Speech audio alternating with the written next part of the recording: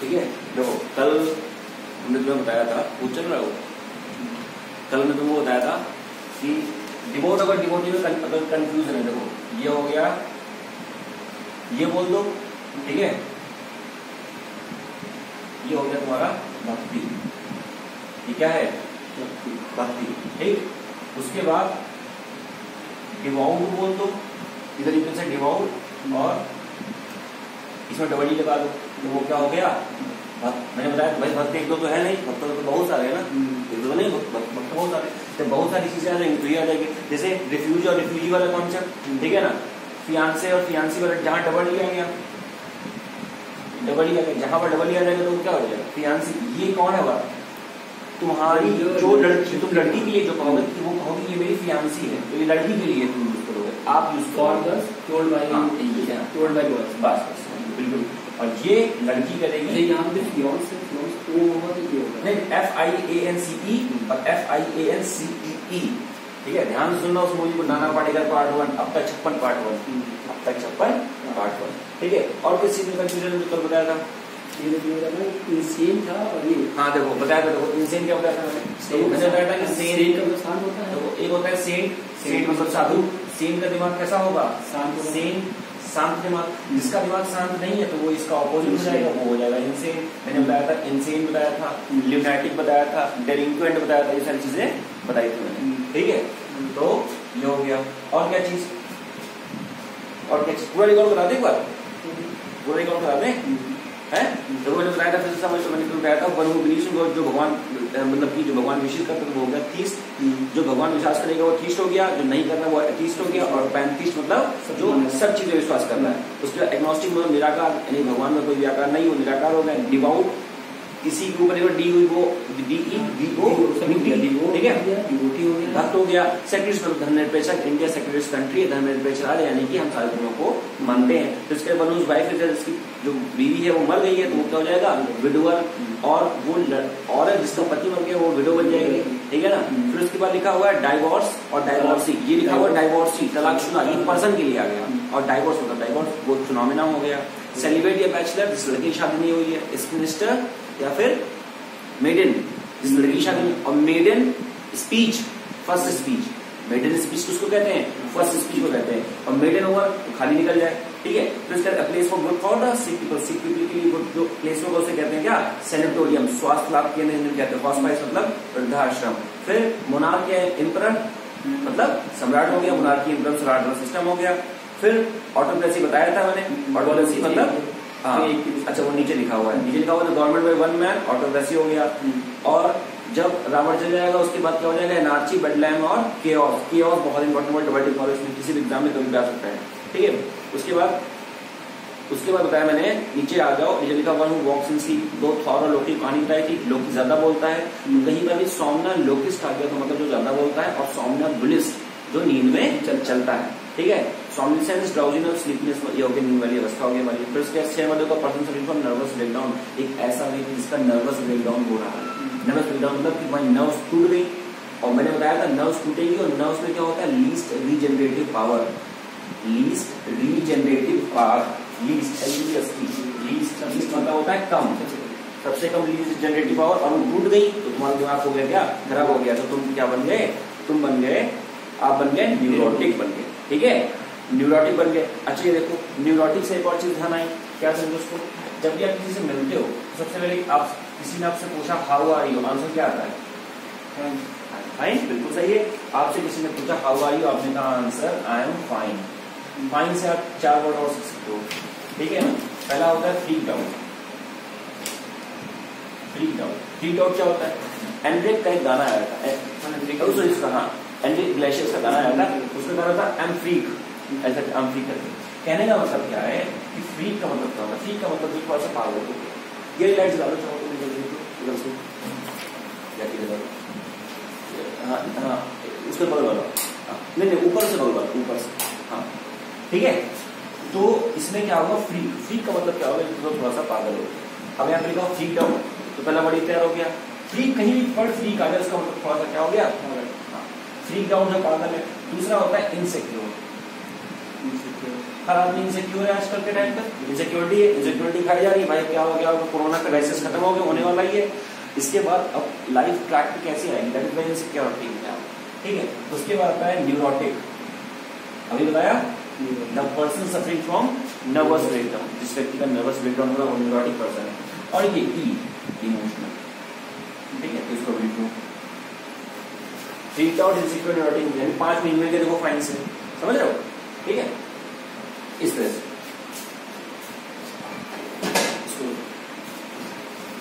ठीक है तो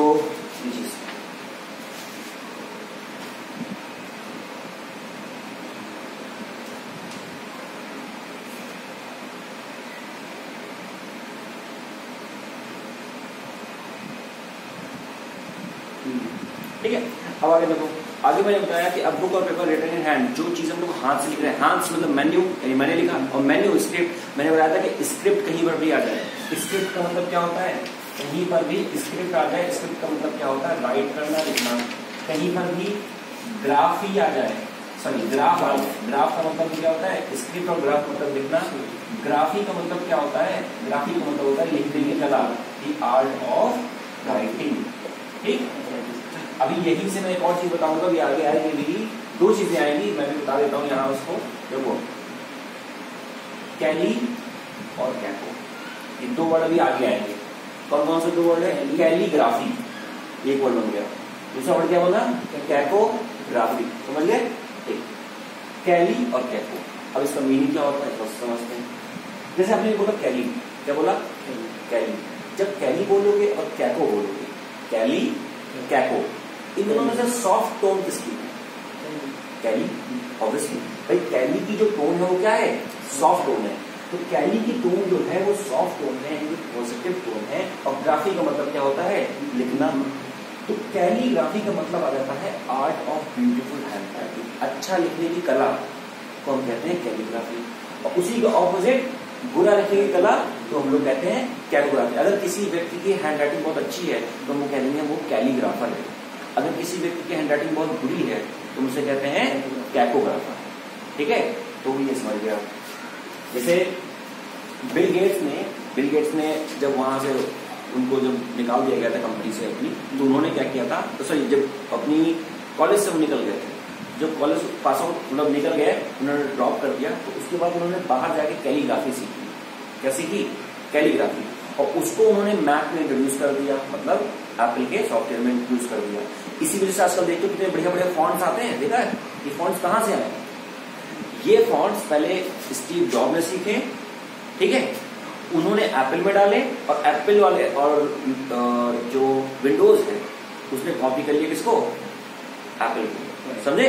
इसीलिए फ़ोन में आ गया तो कैलीग्राफी कैकोग्राफी अभी आगे आएगा? अब आगे देखिए। तो बताया practice of having more than one wife at एक टाइम में एक से ज़्यादा कोई वाइफ रख रहा है तो क्या हो जाएगी? वो हो जाएगी आपकी पॉली गैमी ठीक है? पॉलीगैमी और पॉलीगैमी मतलब एक व्यक्ति के एक से ज़्यादा हस्बैंड है तो उसके मोनो गैमी एक शादी की बाईगैमी दो शादी की ठीक है? ऑप्टो गैमी मतलब क्या हो जाएगा? इसी हिसाब से। कितना नहीं? More than more than mono bi tri क्वाल्डा penta hexa hepta octo octo nano हाँ डेका तो ऑप्टो गैमी मतलब आठ शादियाँ थी उसमें। ठीक है? One who abstain totally from alcoholic drinking जो alcoholic drinking बिल्कुल करता है यानी कि टी तक नहीं पीता हमारा लड़का चार टाइम टी टोटल हो बहुत इंपॉर्टेंट है डबल टिक मार दो इसमें फिर उसके बाद देखो रेक्यूज और हेमिट्स एंड के साधु हो गए स्केप्टिक स्सेप्टिक और सेनिक मतलब क्या हो गया? शक्ति हो गया। स्टोइक का मतलब क्या होता है? मस्त मौला। जो मस्त मौला मतलब कोई दिक्कत नहीं उसको। ठीक है? Cluster of houses in village बहुत इंपॉर्टेंट रहता है इसका और ध्यान रखना कि मैंने आपको पता नहीं होगा ये चीज़ कि एक तो हो गया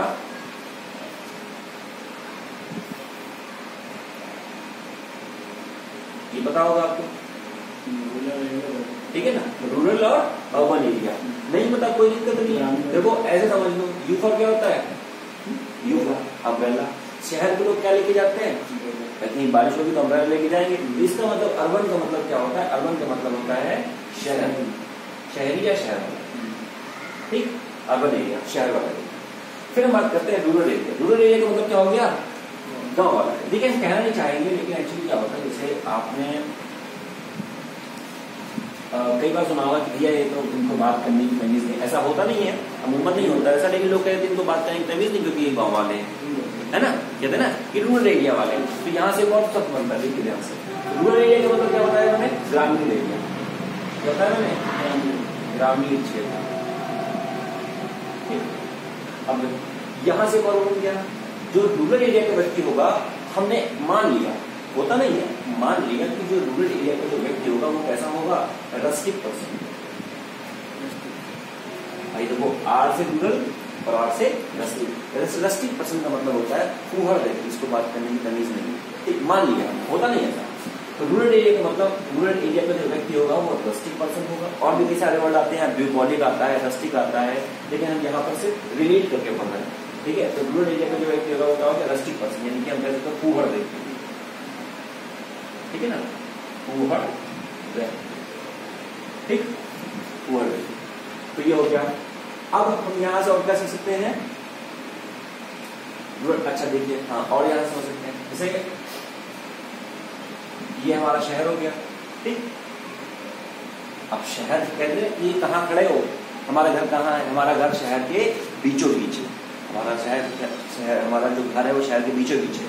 तो हमारा शहर, घर जो है वो शहर के बीचों बीच या हो सकता है, या तो शहर के कहाँ होगा? बाहर होगा, दूर होगा। अगर घर शहर के बाहर है तो उसे हम लोग कहते हैं हिंटरलैंड हिंटरलैंड हिंटरलैंड का मतलब क्या होता है? शहर के बाहर का जो एरिया होता है उसे हम लोग क्या कहते हैं? हिंटरलैंड शहर के अंदर का जो एरिया होता है, उसे हम लोग कहते हैं डाउन टाउन समझे? शहर के अंदर का एरिया कहाँ हो? डाउन टाउन में कहाँ हो? डाउन टाउन में है। कहाँ पे हो बाहर खड़े हिंटरलैंड में खड़े। हिंटरलैंड मतलब क्या होता है? जो एरिया शहर के बाहर है। ठीक है? जैसे हमारा हमने कह दिया कि अजगैन। अजगैन उन्नाव से बाहर है। तो यानी कि वो क्या है? हिंटरलैंड है। गाजियाबाद बोल दिया, नोएडा बोल दिया, दिल्ली से बाहर है हिंटरलैंड में आता है। ठीक है? तो हिंटरलैंड और डाउन टाउन ये भी आपको पता होना चाहिए स्टोरी भी।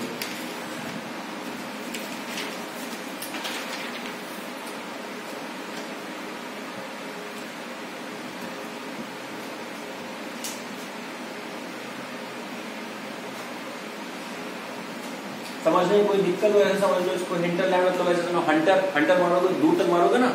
भाई दूर तक चालू जाएगा ठंडा होता है कहते हैं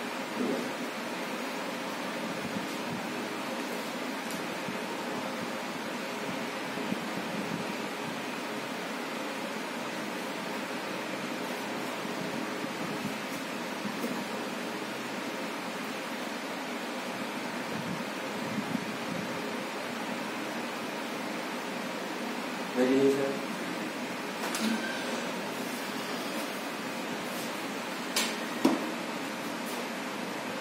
हो गया हो गया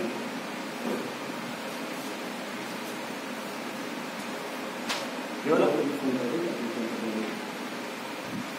ये हो गया ये वाला अब आगे नेक्स्ट क्या है नेक्स्ट वर्ब मैंने हंड्रेड हो गया इंडिगो हो गया। ठीक है। और उसके बाद मैंने क्या कॉलोनी और कॉलोनिज्म कॉलोनी मतलब होता है उपनिवेशवाद। जहाँ जहाँ ब्रिटेन ने राज किया उसको उपनिवेशवाद कहते हैं। उसी उन्हीं कंट्री को कॉमनवेल्थ कंट्री भी कह देते हैं। ठीक है? फिर उसका लिखा हुआ प्लेस अपर इम्पोर्टेंट ग्यारह नंबर देखो यहाँ से स्टार्ट करते हैं ठीक है? आप लोगों को एवियरिस्ट और एपियरिस्ट हाँ एपेरिस्ट और एवरिस्ट बताया था। एपेरी भाई बताया तो दो बार बताया मैंने। एवियरिस्ट जो ना एवरी अगर बोलेंगे तो देखो ये एक हो गया एवरी एक हो गया ठीक ये जो है ये प्रोसेस है। ये प्रोसेस कहीं पर भी आईएसटी लग गया। आईएसटी आईएसटी का मतलब वो करने वाला वो व्यक्ति की बात रहे हैं। ठीक है ना?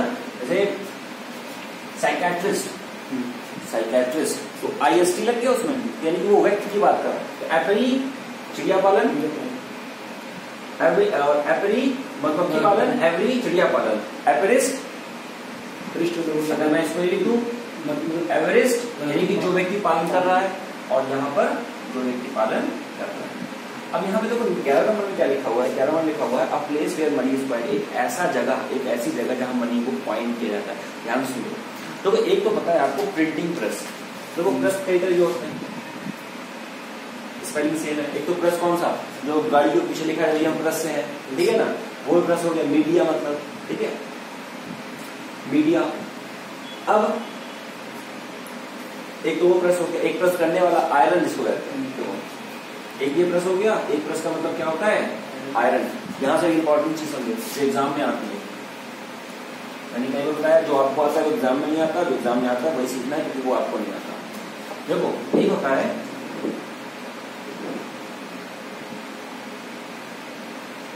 जैसे मैंने लिखा आयरन समथिंग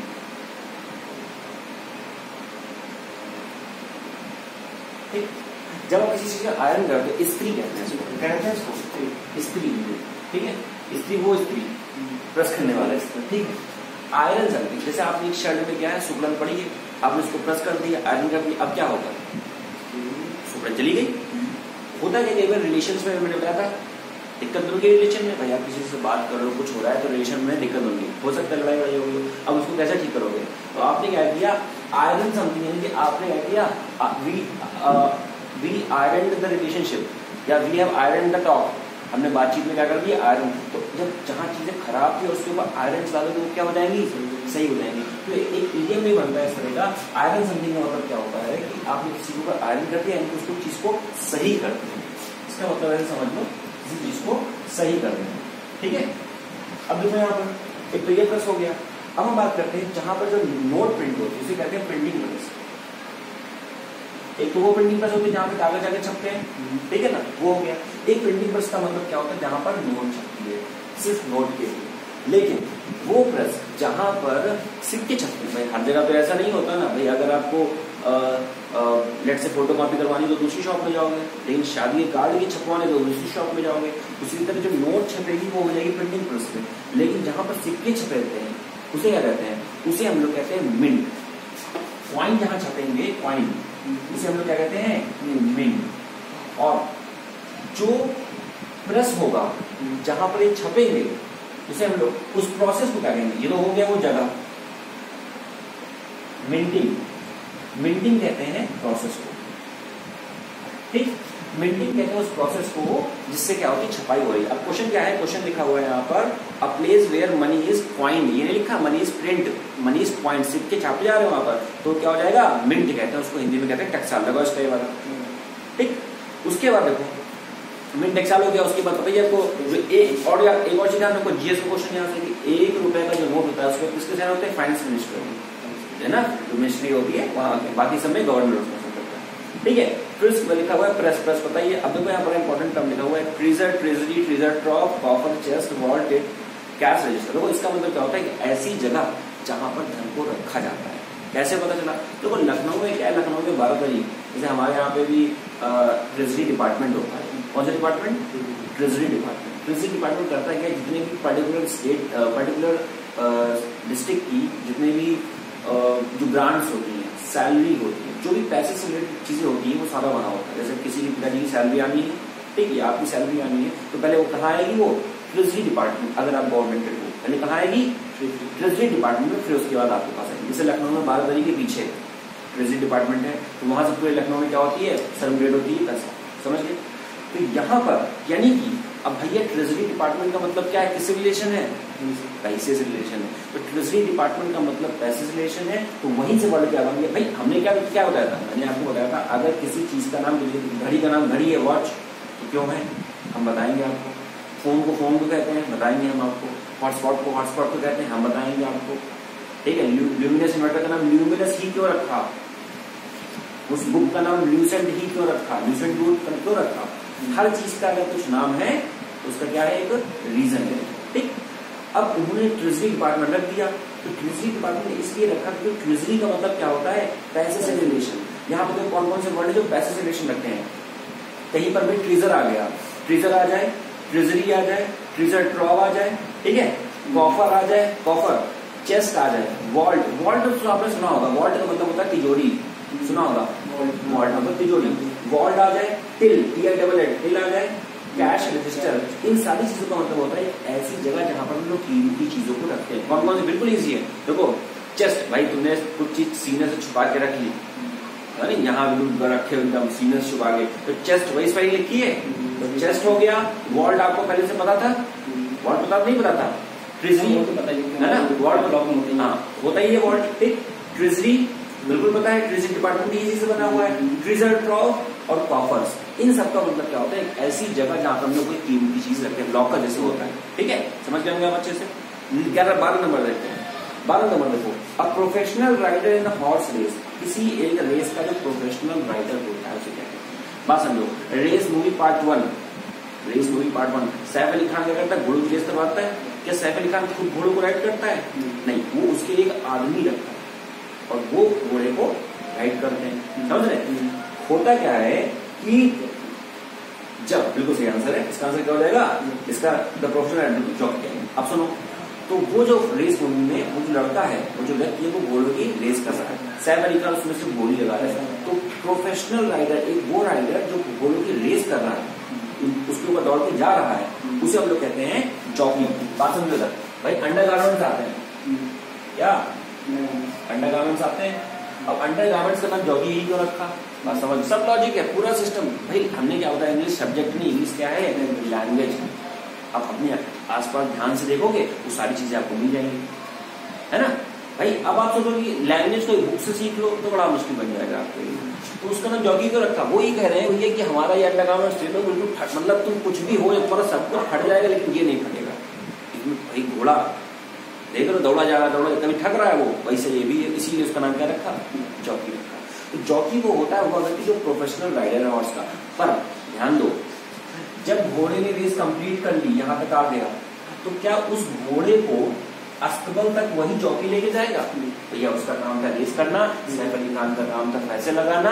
अब एक और व्यक्ति होगा, जो उसको कहा ले जाएगा? अस्तबल तक ले जाएगा। अब ध्यान दो। जो व्यक्ति घोड़े को अस्तबल तक ले जाता है उससे हम लोग क्या कहते हैं? उसे हम लोग कहते हैं हॉर्स कोर्सर क्या कहते हैं हम लोग उसको? हॉर्स कोर्सर बिल्कुल हॉर्स कोर्सर अब सुनो तीन वर्ड रखे हैं यहाँ पर देखो बहुत इंपॉर्टेंट वर्ड हॉर्स ठीक? कोर्स सेम स्पेलिंग है जैसे मैंने क्लियर रहा और कोर्स एक कोर्स का मतलब क्या होता है? आप कोर्स पढ़ रहे हो? हम्म। ठीक है ना? आपका एक पाठ्यक्रम क्या है? तो कोर्स का मतलब क्या हो गया? पाठ्यक्रम। ठीक? उसके बाद इसी कोर्स का मतलब क्या? भाई, आपका पाठ्यक्रम है और आपको अपनी मंजिल तक जाना है, उसके लिए रास्ता बनेगा, रास्ता पाठ्यक्रम है। तो इसी कोर्स सेम स्पेलिंग इसी का मतलब क्या होता है? रास्ता। इसी का मतलब क्या होता है? रास्ता। इसीलिए देखिए, मैंने कहा वह आदमी जो घोड़े को अस्पताल तक लेके जाएगा, उसे हम लोग कहते हैं इसमें हॉर्स कोर्सर क्या कहते हैं हम लोग उसको? हॉर्स कोर्सर कोर्स मतलब क्या हो गया? रास्ता। तो कोर्सर मतलब क्या हो गया? ले जाने वाला। समझे? जैसे मैंने कल वर्ड बताया था प्रे और प्रेयर ठीक है? फिर हमने बताया course C O A R S E देखिए, इस कोर्स का मतलब क्या होता है? देखो, जो कभी आपने देखा होगा, कभी आप गूगल कर लीजिएगा, देख लीजिएगा उसमें, कि जो टाइगर होता है, ठीक है लियो पार्ट कह दो, कुछ भी कह दो बाघ कह दो उसको तो उसकी जो कभी टंग ध्यान से देखो, कोई दिक्कत वाली बात नहीं जो टाइगर होता है, उसके टंग में कांटे लगे होते थे। नुकीली टंग होती है। अगर वो आपकी टंग अगर वो आपकी स्किन को, क्या करते हैं लिक करते हैं। Lick L I C lick मतलब होता है चाटना। अगर वो एक बार चाट दे, ऐसे कर रहे वो तो क्या होगी, आपकी स्किन रप्चर हो जाएगी। क्या हो जाएगी? रप्चर हो जाएगी। रप्चर मतलब क्या होता है? छिल जाएगी। इतने उसमें कांटे लगे होते हैं छोटे छोटे समझ गए आप? तो इसीलिए इस कोर्स का मतलब क्या होता है? जो रूखा होता है। समझ? रहे रूखा कह सकते हो या आप कह सकते हो खुदरा। जो चीज़ रूखी है या फिर खुदरी है। जैसे डॉग होता है डॉग डॉग आता है अपने आपको लिख कर लेता है। अपने हाथ लिख कर लेता है पैर लिख कर लेता है। लेकिन अगर टाइगर वाला है तो वो अपना हाथ नहीं लिख कर सकता। अगर करेगा तो क्या हो जाएगा? हाँ, छिल जाएगा। ध्यान से देखिएगा। इसको आप गूगल करिएगा आपको बिल्कुल अच्छे समझ में आएगा। आगे आगे लिखा हुआ है जॉकी हो गया कोच आपको पता ही है। ठीक है? कोच आपको किसी चीज़ के लिए क्या कर रहा है? ट्रेन कर रहा है। फिर लिखा हुआ है one who collects the postal stamps देखिए, ये सारी चीज़ें मैं आपको भी उसमें कराऊँगा। आपको कराऊँगा मैं रूट वर्ड्स में। ठीक है?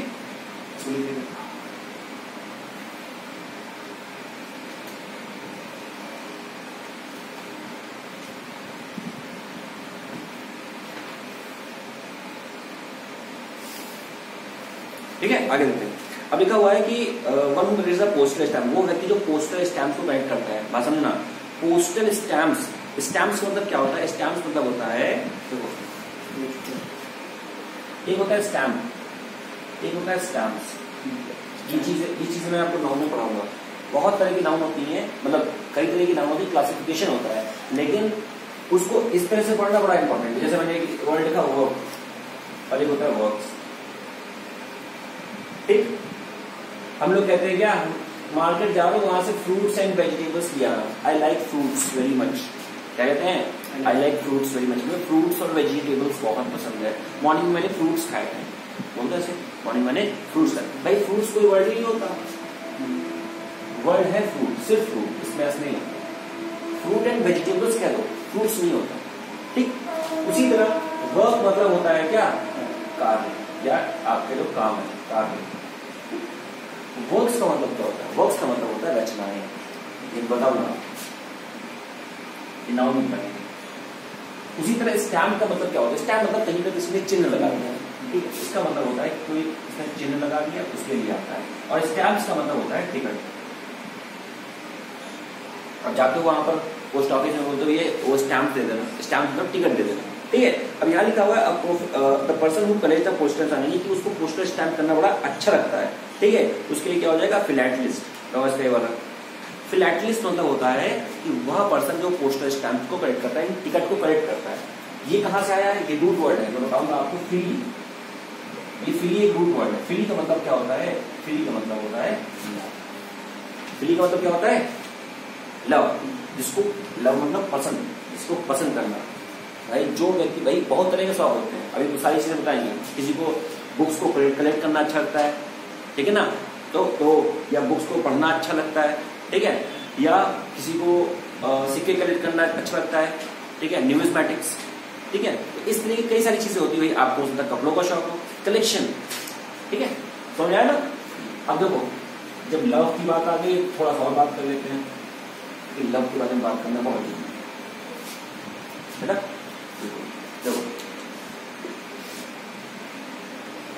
लव के बारे में बात करते हैं। अब लव एक तो पता ही है आपको क्या होता है। ठीक है? इमोशनल फीलिंग्स है। और दूसरा मतलब क्या होता है? कहते नहीं कि प्यार या तो बन जाओगे या तो बिगड़ जाओगे। ठीक है?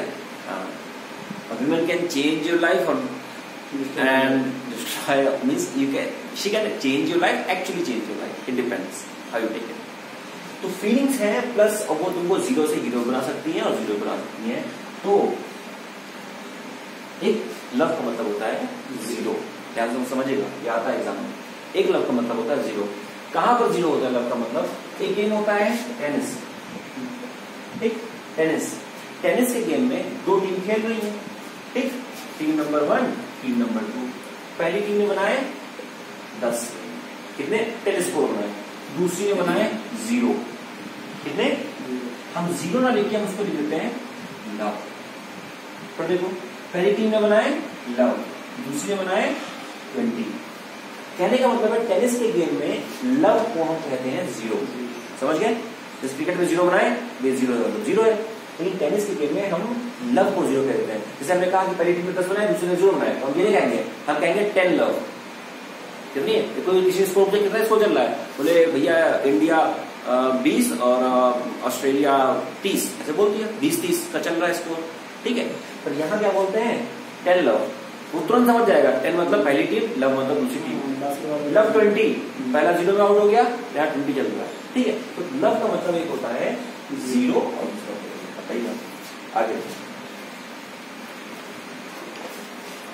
इतना ही क्या? है ना? ये लिख लीजिएगा लेकिन लव ज़ीरो और उसके आगे टेनिस लिखो टेनिस में ज़ीरो होता है। ठीक है? आगे देखो। आगे क्या लिखा हुआ है? हाँ अब देखो। कि मतलब क्या मतलब होता है कि ठेला और वेंडर बताइए आपको आजकल वेंडर आ रहे हैं सबके घर के सामने? ठीक है? बेचने वाला। जो वेंडर होता है क्या? कि जो ठेला लगाता है। समझ गए? उसके बाद वो लिखा हुआ है। अच्छा एक क्वेश्चन छूट गया। तेरह नंबर छूट गया। बहुत इंपॉर्टेंट हाँ। हाउस ऑफ़ स्कीमोज देखो, ये बड़ा इंपॉर्टेंट वर्ड है, अभी आप इसको गूगल भी करोगे। हाउस ऑफ़ स्कीमोज का मतलब क्या होता है? देखो स्कीमो वो लोग होते हैं स्कीमो वो लोग होते हैं जो बर्फ़ में रहते हैं नॉर्थ पोल में रहते हैं।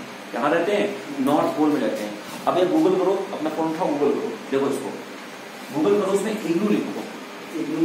इग्लू अगर आपने देखा तो कोई दिक्कत नहीं। देखिए, एक घर वो लोग बनाते हैं। देखिए एस्किमो वो लोग होते हैं जो बर्फ़ में रहते हैं। बर्फ़ कहाँ है? नॉर्थ पोल साउथ पोल में।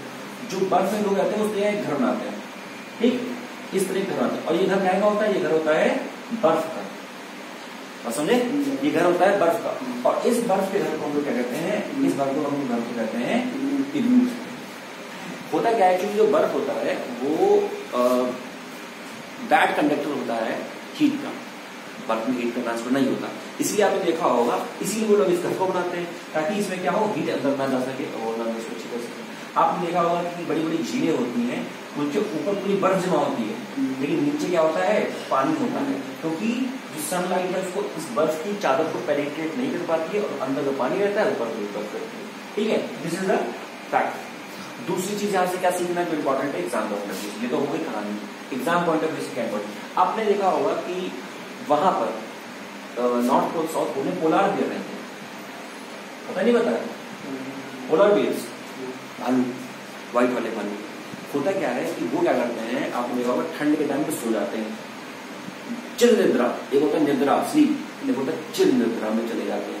होता है कि जब आप सोते हैं तो उस टाइम पे आपकी जो एनर्जी है, वो कंजम्पशन कम हो जाता है। ये यूनिवर्सल लॉ है कि हर आदमी चाहता है मिनिमम एनर्जी और मैक्सिमम स्टेबिलिटी ये लॉ है। तुम हर आदमी होगा आप नहीं चाहोगे आपके पास मैक्सिमम एनर्जी होगी। मैक्सिमम एनर्जी होगी तो घूमना पड़ेगा उधर मिनिमम एनर्जी, मैक्सिमम स्टेबिलिटी। जैसे old age people minimum energy, maximum stability. तो खूब पैसा आ रहा है, ठीक है? तो ये लॉ है। तो वो क्या करते हैं? वो सो जाते हैं। और किस नींद से आते हैं उसे कहते हैं हाइबरनेशन ये आपने वर्ड देखा होगा लैपटॉप में। लैपटॉप में एक ऑप्शन होता है तो कहते हैं हाइबरनेशन यानी वो एकदम, एक तो स्लीप हो गया स्लीप मतलब सो गया। हाइबरनेशन मतलब उसकी साँसें चल रही खाली। लेकिन बिल्कुल मरा हुआ पड़ा है। That is called hibernation hibernation का मतलब क्या होता है? डीप स्लीप ये क्वेश्चन आता है कि पोलर बियर जो नींद लेते हैं उसको कहते क्या है? उसको कहते हैं हाइबरनेशन हाइबरनेशन को आप लिख सकते हो डीप स्लीप डीप स्लीप और डीप स्लीप के लिए एक और वर्ड आता है साउंड स्लीप लोग इससे भ्रमित हो जाते हैं वैसे। वो सोचते हैं साउंड स्लीप मतलब आवाज़ करके सो। नहीं नहीं नहीं. साउंड स्लीप का मतलब ऐसा समझो कि बिल्कुल साउंड ना है जैसे आप योगा करके सोए, किसी दिन आपने योगा किया, बढ़िया खाया, उसके बाद सो गए तो आपको नींद कैसी आएगी? साउंड स्लीप बनेगी। साउंड स्लीप का मतलब एकदम बढ़िया। मीठी बिल्कुल। कई सारे वर्ड्स हैं जैसे एक होता है, एक ये वर्ड हो गया, लोग भ्रमित हो जाते हैं, इसका मतलब नहीं समझाते। साउंड स्लीप का मतलब क्या होता है? बढ़िया नींद sound sleep is same as deep sleep इसे मैंने पहली बार एक वर्ड सुना था ऑनर किलिंग ऑनर किलिंग ये वर्ड सुना था मैंने पहली बार। तो मुझे लगा था इसका सम्मान के साथ मारना। लेकिन बाद में पता चला दिल्ली में खाप पंचायत है। दिल्ली में गुड़गांव में खाप पंचायत। वो क्या करती है कि अगर किसी ने गंधर्व विवाह कर लिया तो वो उसका ऑनर क्लीन कर देता ऑनर क्लीन का मतलब होता है सम्मान के साथ नहीं मानना सम्मान के लिए मानना जैसे मान लीजिए किसी ने दूसरी जाति में शादी कर ली तो उसको किसी लड़की को या लड़के को मार दिया। ठीक है, जैसे पिक्चर भी आई थी क्या नाम उसका? पिक्चर आई थी लड़के इसमें लड़का था, एक लड़की थी। ठीक है ना, था कोई इसमें मुझे याद भी याद अभी, है ना? तो नया हीरो था उसमें तो उसने, उसमें भी ये दिखाया गया था। ठीक है? उसमें दिखाया गया था ऑनर किलिंग के चक्कर में लड़की को मार दिया गया था और उसके बच्चे को भी मार दिया गया उसे कहते हाँ? हाँ कोई है मूवी है ना? तो भी है तो नाम नहीं आ रहा तो ऑनर किलिंग उसको कहते हैं ठीक है? उसे ऑनर किलिंग कहते हैं। तो ऑनर किलिंग क्या होता है? ऑनर किलिंग मतलब क्या? सम्मान के लिए किसी को मारना ठीक है? उसके बाद डीप स्लीप साउंड हाइबरनेशन ये दोनों वर्ड लिखो। एक तो हाइबरनेशन लिखो साउंड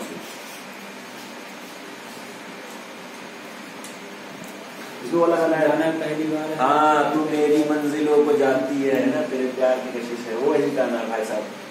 बड़ी इसमें दिखाया गया है ऑनर किलिंग का पूरा कॉन्सेप्ट दिखाया गया उसमें।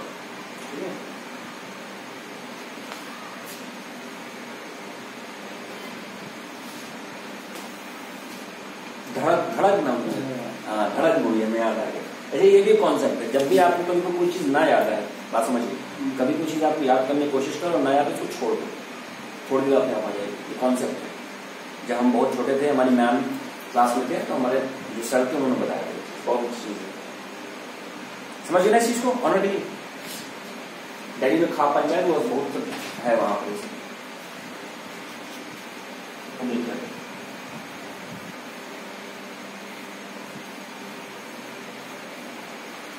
क्वेश्चन नंबर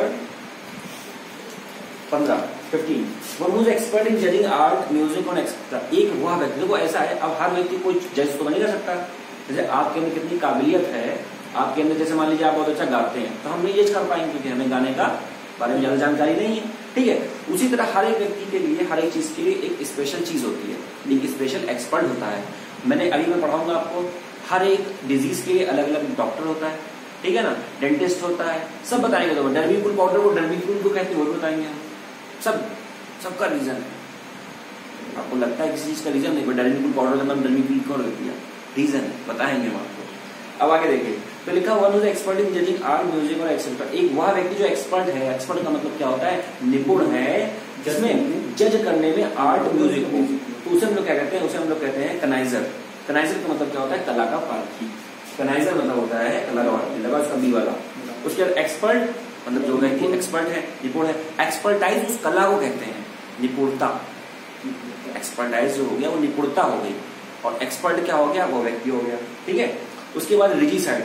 मैं अभी आपको पढ़ाऊँगा सब। साइड। कहीं पर भी साइड वर्ड आ गया ये रूट वर्ड है, देखिए, इधर देखिए। ये रूट वर्ड है सॉरी ये रूट वर्ड है। साइड। अभी मैं आपको रूट वर्ड में पढ़ाऊँगा चीज़। तो इस साइड का मतलब क्या होता है? किल करना। अभी आप समझने के लिए समझ सकते हैं इतना कि जैसे आपका मेरे बताया जैसे आप कहीं गए ठीक है ना? तो आ, आप कहीं गए और आपके मित्र ने कहा भैया थोड़ा साइड में चलते हैं। तो साइड में ले गया। साइड में ले जाके क्या करा? चक्को को मार दिया। तो अगर आपको कोई व्यक्ति साइड में ले जाके चक्को को मार देगा तो खतरा है ना आपके लिए? कोई दिक्कत नहीं बेटा समझने के निमोनिक। निमोनिक। निमोनिक। कोई व्यक्ति साइड में ले गया उसके क्या कर दिया? चक्कू मार दिया तो साइड का मतलब क्या होता है? किल करना बहुत तरह का जैसे मैट्री साइड बैटरी साइड उसके बाद एक्सोरी साइड ठीक है? फिर उसके बाद आपका अगर रिजी साइड ठीक है ना? तो होमी साइड सू साइड सब आएगा तो साइड कहीं पर भी आ जाए तो उसका मतलब क्या होता है? किल करना। यहाँ पर वर्ड लिखा हुआ है रिजी साइड क्या लिखा हुआ है? रिजी आर फॉर क्या होता है? राजा। रिजी साइड आर फॉर राजा। तो रिजी साइड का मतलब क्या होता है? राजा की हत्या। किसी ने राजा की हत्या करी तो रिजी साइड समझ गए? कोई कंफ्यूजन लग तो रहा है। डिसाइड डिसाइड तो आपने डिसाइड कर लिया वो तो। निर्णायक मत हो गया वो अलग चीज़ हो गई। ठीक है तो निमोनिक निमोनिक का मतलब ये होता है कि निमोनिक का मतलब नॉनसेंस लेवल एबिंग बॉस ने दिया है। पढ़ा होगा आपने साइकोलॉजी में। जो नॉनसेंस लेवल है वो किसने दिया है एबिंग बॉस ने दिए। है एबिंग बॉस के लर्निंग कर्व्स भी हैं। उन्होंने बताया उसने चीज़ों को कैसे हम उल्टे सीधे तरीकों से समझ सकते हैं याद कर सकते हैं। ठीक है अब आगे देखो आगे लिखा हुआ वन हु हेट्स मैनकाइंड तो मैनकाइंड का मतलब क्या होता है? मानव जाति। मैनकाइंड का मतलब क्या होता है? मानव जाति। जो व्यक्ति मानव जाति से घना करता है उसे हम लोग क्या कहते हैं? देखो मैं भी रूट वर्ड पढ़ाऊँगा सब, सब कुछ आएगा उसमें। अभी मैंने बताया देखो एक मैंने बताया फिली फिली का मतलब क्या हो गया? लव पहले समझो फिली मतलब हल्का लगेगा सेट में तितली उड़ एकदम प्यार हो गया। फील फील फील का मतलब क्या होता है? लव कहीं पर फील आ जाए उसका मतलब लव कहीं पर भी साइड आ जाए तो उसका मतलब कुछ मैं कुछ रूट वर्ड बता दे रहा हूँ जो इंपॉर्टेंट अभी आ सकते हैं। कहीं पर भी साइड आ गया उसका मतलब क्या होता है? फील करना। ठीक? उसके बाद फिली हो गया साइड हो गया। उसके बाद हम बात करते हैं, कहीं पर मिसी आ गया। अच्छा एक बात तो मैंने कहा था कल जिससे जिससे जिसे आप पसंद करते हैं जो आपके बहुत अज़ीज़ है, उसी को तो एप्पल दोगे उसी को तो एप्पल तो फर्जी में किसी को एप्पल दोगे नहीं। कहने का मतलब है, जो अज़ीज़ होता है, जो प्यारा होता है, उसी से प्यार करते हो, उसी से क्या करते हो? लड़ाई भी करते हो। और उसी को मिस करते हो। तो यानी कि जिस व्यक्ति से मिस जिस व्यक्ति को मिस करोगे उसी से लड़ाई होगी आपकी, ठीक? मिस क्यों करोगे क्योंकि लड़ाई हुई है। ना हुई हो तो मिस ही ना करते। तो कहीं पर मिस ही आ गया, या मिस ही आ गया, या मिस आ जाए उसका मतलब क्या होता है? हेट क्या होता है? उसका मतलब होता है हेट फिली हो गया साइड हो गया मिसी हो गया। फिर उसके बाद कुछ और लिख लो। एंथ्रोप ठीक? एंथ्रोप का मतलब होता है मैनकाइंड मानव जाति ठीक? फिर उसके बाद एंड्रस। एंड्रस का मतलब मैंने बताया था क्या? मैंने किसका मतलब क्या बताया था? एंड्रस का मतलब। एंड्रस। नेल। ठीक है? एंड्रस का मतलब क्या बताया था मैंने? नेल। अच्छा ये दोनों नेक्स्ट वाले बताओ। ये बताया मैंने आपको। एक बताया था मैंने आपको गैमस और एक बताया था गायनी बताओ इसका। ए, आ गया यहाँ पर। गैमस ए फॉर एप्पल और एप्पल कहाँ चलेगा? शादी पंडित जी गैमस का मतलब क्या होता है? मैरिज है ना? गैमस का मतलब मैरिज और गायनी जी वाई वाई मतलब लेडी गायनी का मतलब क्या हो गया? लेडी हो गया। ठीक है? तो गैमस का मतलब मैरिज हो गया काइली का मतलब बेबी हो गया। शादी ना? हाँ? गैमस बताया ना? रूम ब्राइड सारी चीज़ें। ठीक है इसको जो है, क्योंकि ये बीच में काम आ सकते हैं इसलिए मैं लिखा ये चीज़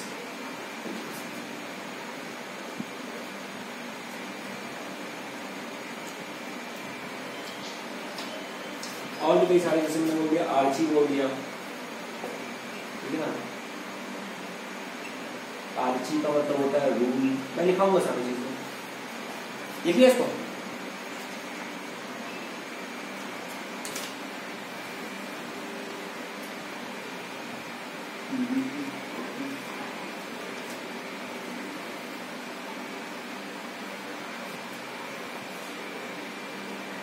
रूट वर्ड बहुत इंपॉर्टेंट है कि एक रूट से आपको कई सारे वर्ड्स मिल जाते हैं, इसलिए इंपॉर्टेंट है। और याद आपने देखा होगा, याद कुछ नहीं करना पड़ रहा होगा आपको, सब अपने आप याद हो रहा होगा, है ना? तो ये कनेक्शन से पढ़ा है, इसलिए। कल क्या बताया था? फॉर्मूला ऑफ़ सी क्यू बताया था मैंने आपको? हाँ formula of C Q C Q का फॉर्मूला क्या था? क्रिएटिविटी कनेक्टिविटी कनेक्टिविटी कंसोलिडेशन ठीक है ये क्या होता है? जितने ज़्यादा क्रिएटिव बनोगे उतना दिमाग चलेगा तुम्हारा और तुम कनेक्ट करोगे चीज़ों को। और जितना ज़्यादा कनेक्ट करोगे उतना ज़्यादा कंसोलिडेट करोगे। कल जो पढ़ाया था अच्छा वो कंसोलिडेट हो गया। ठीक है? उसे कहते हैं कंसोलिडेशन मतलब दिमाग में भले कंसोलिडेटेड फंड भी होता है संचित निधि। है ना? Consolidated fund of India contingency fund of India तो ये होता है फॉर्मूला ऑफ़ सी क्यू सबको पता होना चाहिए आगे देखिए। अब लिखा हुआ है यहाँ पर। ठीक है? तो किस क्वेश्चन में थे हम लोग? Sixteen one who hates mankind वो व्यक्ति जो मैनकाइंड से घृणा करता है। मैनकाइंड का मतलब क्या है? मानव जाति। जो व्यक्ति मानव जाति से घृणा करता है तो क्या कह देंगे? मिस एंथ्रोप मिस एंथ्रोप एंथ्रोप मतलब क्या होता है? देखिए यहाँ पर। एंथ्रोप मतलब क्या होता है मैनकाइंड मानव जाति तो जो व्यक्ति मानव जाति घृणा करता है तो क्या हो गया मिस एंथ्रोप मिस का मतलब क्या है घृणा करना फिली मतलब लव करना ठीक है ना तो जो व्यक्ति मानव जाति घृणा करता है तो उसका क्या हो जाएगा ऑप्शन नंबर सोलह का ऑप्शन नंबर बी बी वाला लेकिन अगर क्वेश्चन पूछ देता वन हु लव्स मैनकाइंड तो फिर very good very good bravo बहुत अच्छे अगर वो पूछ देता कि वन हु लव्स मैनकाइंड हो जाता फिलेंथ्रोपिस्ट फिलेंथ्रोपिस्ट का मतलब होता है मानव जाति से प्रेम करने वाला क्योंकि फ्री का मतलब क्या होता है लव उसके बाद का स्टैम्पीड मैंने बताया था, जब क्राउड जब क्राउड किसमें कन्वर्ट हो गया? मॉब याद करो क्राउड मतलब भीड़। मॉब का मतलब उग्र भीड़। जब क्राउड मॉब में कन्वर्ट हो गया, क्यों हुआ? रावण जला, एक आदमी दुकान में ऊपर गिरा, अब क्राउड मॉब में कन्वर्ट हो गया। तो क्या वहाँ बच जाएगी वहाँ पर भगदड़। जिसे कहते हैं स्टैम्पीड स्टैम्पीड का मतलब होता है भगदड़, और रिबल मतलब होता है विद्रोही विद्रोह फिर देखो सत्रह नंबर आ गया बहुत इंपॉर्टेंट है आपको तुरंत पता होगा the art of beautiful handwriting क्या हो जाएगा इसका बताओ? The. Art of beautiful handwriting अच्छा लिखने की कला क्या कहते हैं? कैलीग्राफी बिल्कुल सही दो वर्ड कहते हैं कैली और कैपो कैली का मतलब कैली गुड गुड वर्ड कैली अच्छा लग रहा है कैपो बुरा लग रहा है। कैलीग्राफी का मतलब होता है? Art of beautiful handwriting अगर पूछे तो art of bad handwriting बुरा लिखने की कला को क्या कहते हैं तो क्या हो जाएगा? बुरा लिखने का कैको कैको ब्रावो ब्रावो। उसके बाद लिखा पैलोग्राफी। पैलोग्राफी का मतलब क्या होता है कि जो शिलालेख होते हैं जो शिलालेख होते हैं हाँ वो उसको हम लोग पैलोग्राफी। उसके बाद लिखा story of man written by himself और खुद लिखे वो। कौन हो जाएगा? जैसे गांधी ने क्या लिखी? My experiments with truth autobiography क्योंकि मैंने क्या बताया था ऑटो का मतलब होता है वन ठीक है? ऑटोग्राफी का मतलब हो गया कि the person who writes in अगर गांधी जी ने जैसे समझ लो गांधी जैसे मोदी जी हैं मोदी जी ने अपने जीवन के ऊपर खुद एक किताब लिखी उसको हम लोग कहेंगे ऑटोबायोग्राफी क्योंकि ऑटो का मतलब क्या होता है? एक स्वयं। ऑटो का मतलब एक यूनी का मतलब एक और होमो का मतलब एक। सॉरी मोनो मोनो या होमो कह दो उसका मतलब एक। ठीक? तो वो हो जाएगी ये। लेकिन अगर किसी व्यक्ति ने मोदी जी के ऊपर किताब लिखी तो वो हो जाएगी क्या? बायोग्राफी बिल्कुल सही। फिर लिखा हुआ है मेमोआर मेमोआर मतलब होता है कि short autobiography genocide short auto कोई छोटी ऑटोबायोग्राफी आपने मोदी जी को बहुत बड़ी ऑटोबायोग्राफी बायोग्राफी मतलब क्या होगा? पूरा जीवन लिखना। लेकिन पूरा जीवन ना लिख के आप थोड़ा सा उसका एक पार्ट लिख रहे हो। जैसे आपने लिखा है मोदी जी को मेमोरेबल आपने मोदी जी के ऊपर हाँ लिखा जैसे कि मोदी जी ने कोविड 19 के टाइम पे कैसे रिएक्ट किया। उसके बारे में लिखा उनके चरित्र पर। तो ये तो बहुत बड़ी विस्तृत नहीं हो जाएगा। भाई एक आपने छोटे से स्पैन में लिखना ना स्पैन आपने एक छोटे से स्पैन में लिखना ना स्पैन का मतलब होता है टाइम एक छोटे से टाइम में लिखा आपने ठीक है? तो वो हो गया। फिर जेनोसाइड साइड का मतलब क्या होता है सीआईडी साइड साइड में नकली करना। जिनोसाइड तो वो एक होता है जनरेशन हाँ जनरेशन आपने क्या कर दिया? पूरी जनरेशन वो जन यहाँ पे भी आया है और जन वहाँ पे भी आया जिनोसाइड जिनोसाइड आपने पूरी नस्ल की हत्या कर दी। पूरी रेस की हत्या कर देखो, एक होता है रेस दौड़। ठीक? और एक रेस को हम लोग क्या कहते हैं? एक वो नस्ल, पूरी नस्ल खत्म कर दी आपने। ठीक? नस्ल भी खत्म कर दी। पूरी नस्ल खत्म कर दी। और एक और बताया था मैंने आपको, ये तो नस्ल हो गया, उसके लिए ब्रीड एक तो ये ब्रीड कौन सी नस्ल वाली है? तो किसी डॉग का नस्ल है। ठीक है, ये ब्रीड हो गई। ये रेस कौन सी है? पूरी ह्यूमन जाति खत्म कर दिया आपने। ठीक है ऐसा हो गया। ये जो है ना मोंगरेल हाँ? मोंगरेल हाँ हाँ। मिमोयल मिमोयल मिमोयल हाँ? Memo M E M O I R ठीक है? हाँ ब्रीड हाँ। अच्छा वो ये मॉर्गल वो ब्रीड का नाम है। वो मेरे नीचे लिख रहा था। वो लिखा हुआ है मॉन्गल वो ब्रीड का नाम है। मतलब एक तरह की नस्ल जैसे डॉग होती है डॉग। जैसे डॉग के बहुत सारे नस्ल होते हैं। डाबामैन होता है लेब्रा होता है पोमेरियन होता है। ठीक है ना? बक बक। पग पग पग वो वोडाफोन वाला। ठीक है? तो वो हो गया। फिर उसके बाद समझ गए इसको? अब कंडीशन ठीक है ना? बताया था मैंने भगवान तुम्हारे सामने आ जाएगा तो तुम क्या कहोगे चेक करोगे भैया अपना कुछ दिखाओ तुम जाने। ठीक है? चेंज करो आगे समझ आए कोई दिक्कत नहीं इस पेज में ठीक है the history of man written by others चलो उसको the history of man written by others biography हो जाएगी बिल्कुल किसी अन्य व्यक्ति के द्वारा लिखी गई जो होती है उस बायोग्राफी को सीख रहे हो आप लिख रहे हो ठीक है ऑटोबायोग्राफी अगर स्वयं लिखता है फ्री साइड क्या होता है? फ्री का मतलब क्या होता है? साइड मतलब मानना फ्री साइड का मतलब होता है भाई बहन की या बेटी की हत्या कर देना बेटी का बेटी की। द किलिंग ऑफ़ सिस्टर और ब्रदर समझ गए? अब देखा हुआ the plant and vegetation of certain region की बड़ा इंपॉर्टेंट है। देखो। द प्लांट एंड मतलब वेजिटेशन वो लगा नहीं पानी हाँ plant vegetation of certain region यहाँ पर आपको दो वर्ड सीखने हैं। पहला देखिए। यहाँ लिखे हुए हैं फ्लोरा एंड फाउना बस ये समझ लो धीरे से। फ्लोरा और फाउना बड़ा इंपॉर्टेंट है। फ्लावर की स्पेलिंग क्या होती है? फ्लावर लिखा है फ्लावर लिखा है। फ्लावर लिखा है? ठीक फ्लावर मतलब पुष्प फ्लावर की स्पेलिंग में देखो कुछ कॉमन दिख रहा है आपको? यहाँ पर यहाँ पर। दिख रहा है कुछ कॉमन तो कहीं पर भी फ्लोरा आ जाए क्या जाए? फ्लोरा फ्लोरा कहीं पर भी आ जाए तो उसका मतलब होता है पेड़ पौधे से। क्योंकि फ्लावर क्या है? ये पेड़ पौधा है। कहीं पर भी फ्लोरा आ जाए उसका मतलब क्या होता है? पेड़ पौधा। पेड़ से मतलब पेड़ पौधे से। ठीक? और फाउना का मतलब क्या होता है? जब ये पेड़ पौधे हो गए तो वो क्या हो जाएगा? जंतु। ए फॉर एनिमल ऐसे समझ लो आप। ठीक है? फाउना का मतलब क्या होता है? जंतु। या जानवर। ठीक? समझ गए? देखो यहाँ लिखा हुआ है the plant and vegetation of certain region किसी एक जगह का प्लांट या वेजिटेशन को हम लोग क्या कहते हैं? तो उसे हम लोग कहते हैं क्या? फ्लोरा ऑप्शन नंबर ए समझ गए? और अगर पूछ दिया किसी एक पर्टिकुलर रीजन के एनिमल को क्या कहते हैं? If the question is like that the animals of a certain region then answer will be fauna bravo बहुत अच्छे। और अगर कलेक्टिवली कहना है फ्लोरा एंड फाउना तो मतलब क्या हो गया?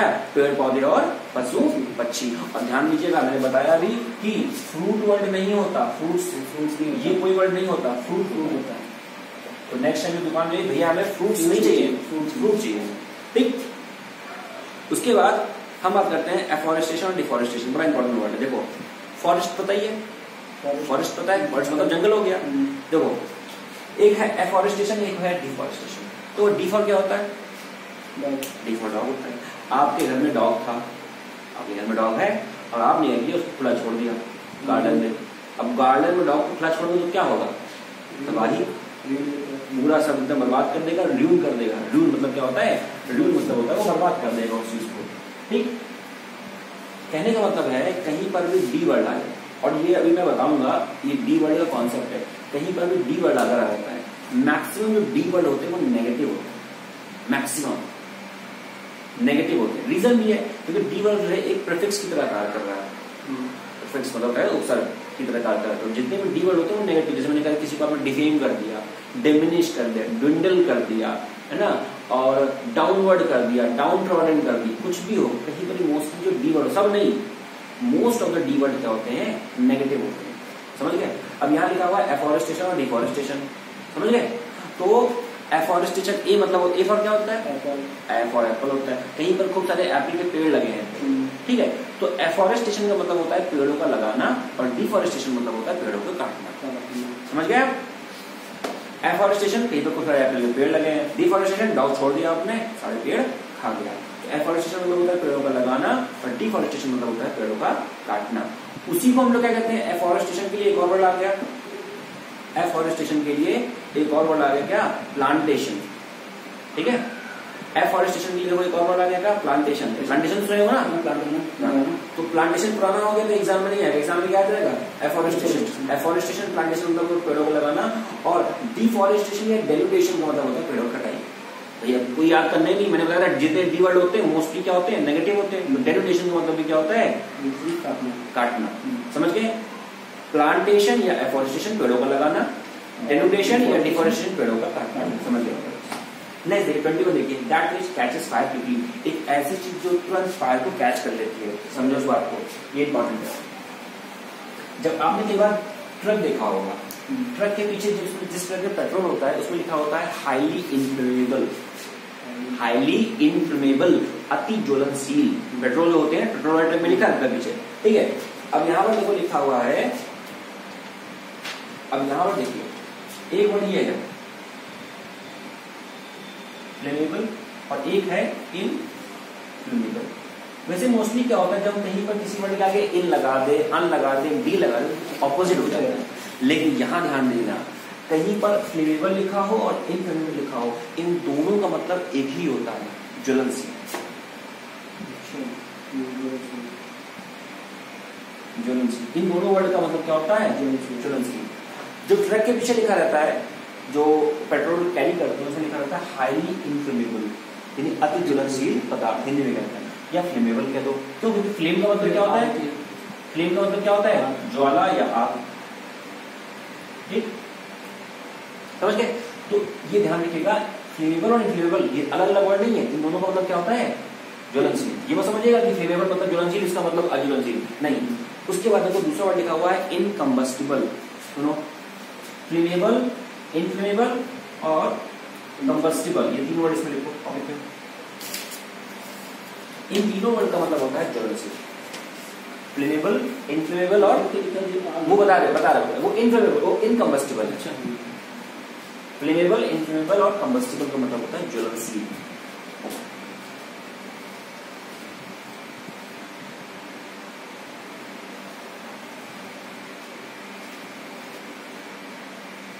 ठीक है?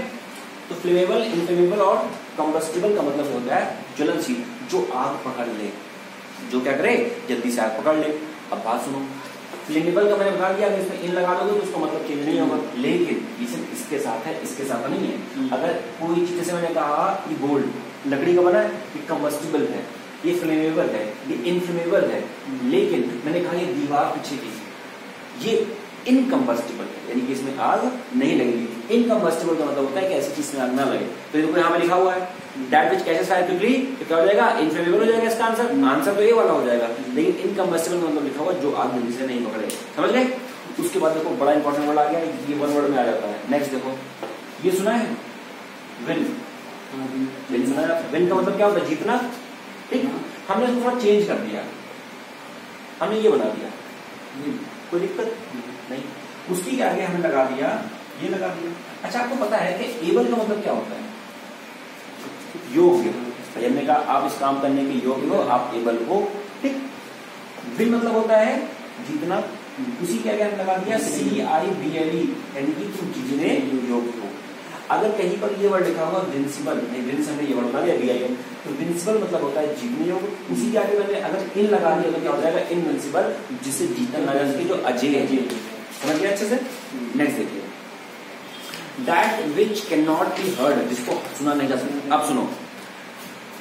मैंने बताया था हर एक चीज़ का अगर कुछ नाम है तो उसका एक रीजन होता है। जैसे ऑडियो सुनते हो? ऑडियो ऑडियो का नाम ऑडियो क्यों पड़ा। ऑडियो का मतलब होता है साउंड ऑडियो का मतलब क्या होता है? साउंड मैंने जैसे आपने फ़ोन में बात किया आपने फ़ोन में बात किया और बात करी तो क्या होता है? जैसे आप बात कर रहे हो बारिश हो रही है तो आवाज़ जर्क करती है। क्या करती है आवाज़ जर्क करती है। ठीक है? आप कहोगे योर वॉइस इज़ जर्किंग आपकी आवाज़ नहीं आ रही साहब। ठीक है? किसके साथ है कुछ भी कह सकते हैं आप। उस कंडीशन में हम कहोगे you are inaudible to me you are inaudible to me जैसे मैं क्लास में पढ़ाता हूँ तो क्लास में मैं क्या करूँगा बच्चों से? आप तो बैठो सब अभी। तो मैं कहूँगा वहाँ पर माइक मैंने माइक लगाया, मैं उसके बाद कहूँगा am I audible to you बात समझना। मैं क्या कहता हूँ सेंटेंस क्या बोलता हूँ मैं? Am I audible to you क्या आप मुझे सुन सकते हो? क्या आप मुझे सुन सकते हो? भाई आवाज़ अगर फ़ोन में भी हो, बोलोगे एम आई ऑडिबल टू क्या आप मुझे सुन सकते हो? तो ये जो ऑडिबल वर्ड है कहाँ से आया? ऑडियो से आया। एक ऐप आती है, सुनो ऑडिबल एक ऐप आती है, और सुनो ऑडिबल उसमें क्या है, आप स्टोरी सुन सकते हो ऑडियो फॉर्म में। तो उस ऐप का नाम क्या है? ऑडिबल सुनो।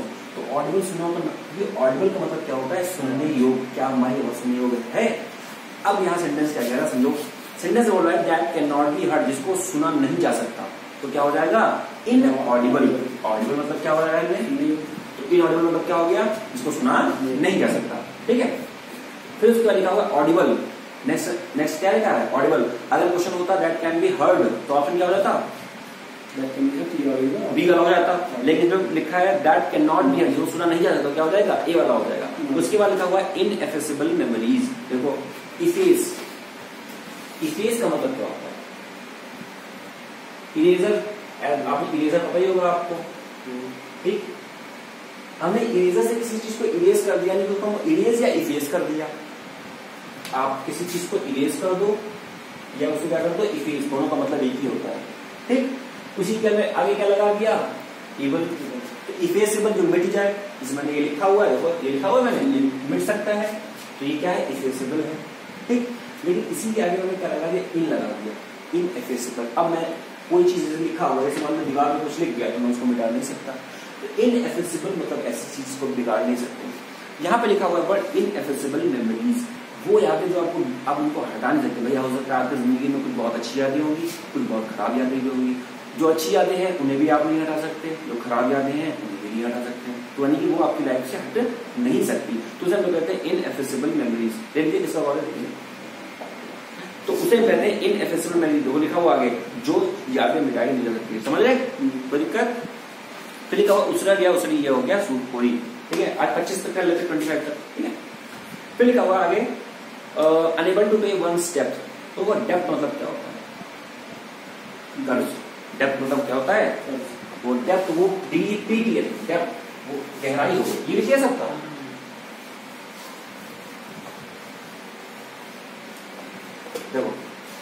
दो तीन चीज़ें आपको पता होनी चाहिए। एक होता है जैसे क्रेडिट।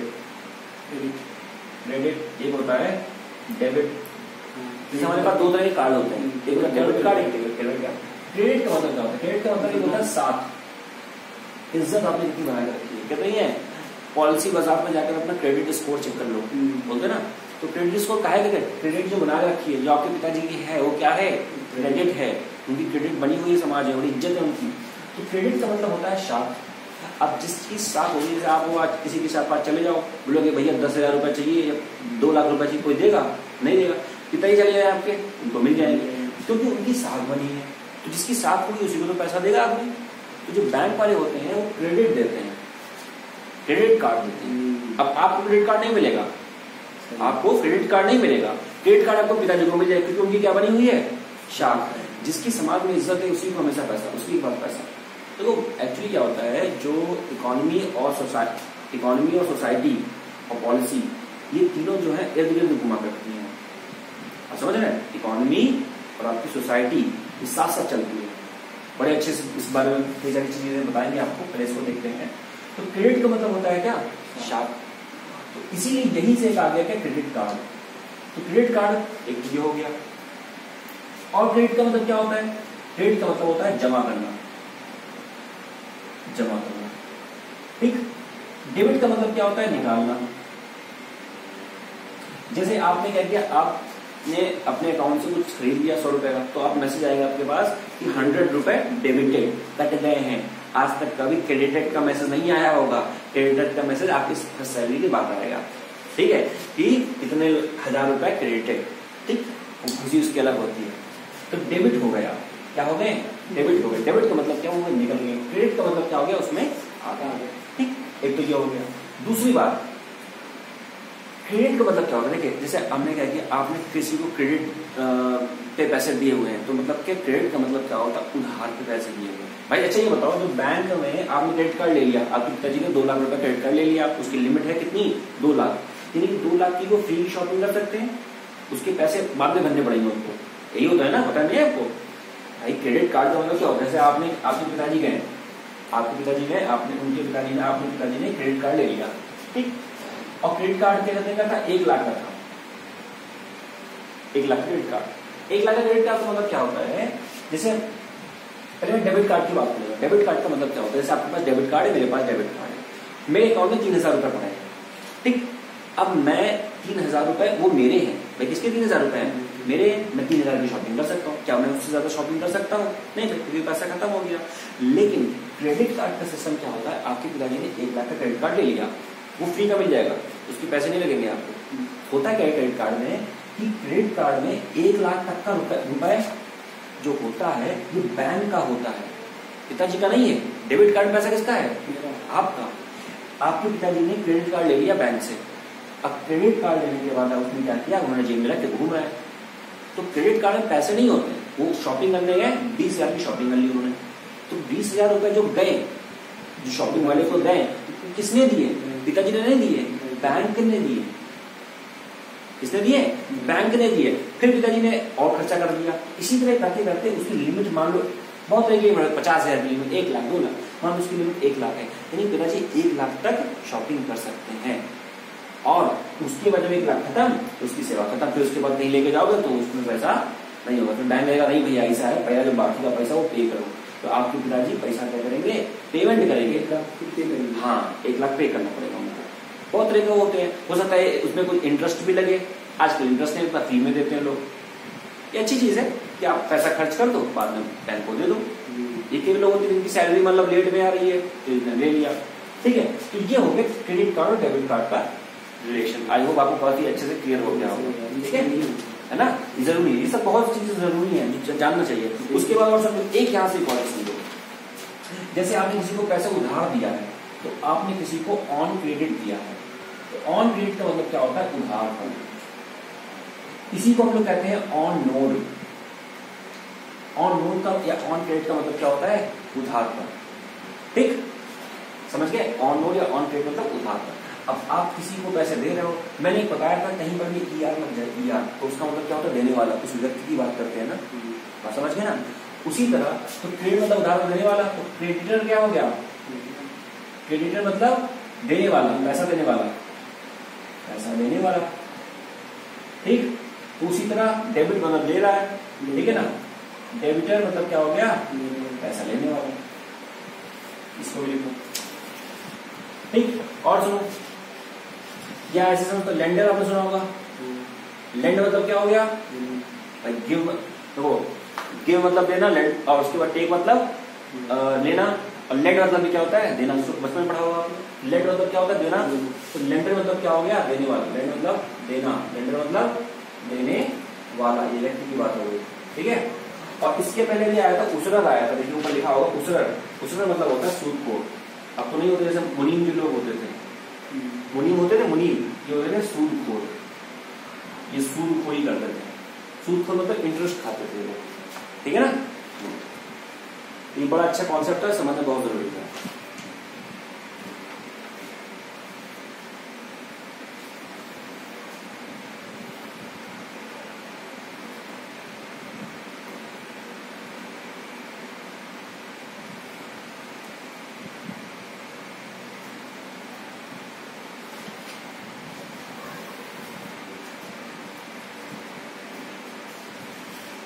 हो गया